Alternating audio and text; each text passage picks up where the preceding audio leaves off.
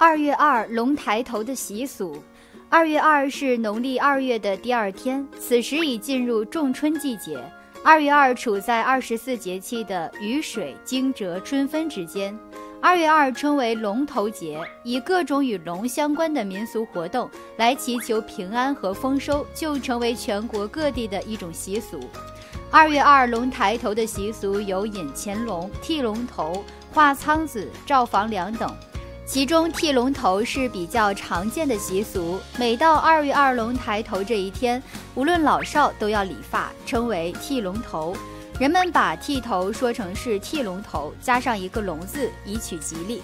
据说在这一天剃头可以使人健康，像龙一样在空中自由自在地腾飞，将来必能飞黄腾达。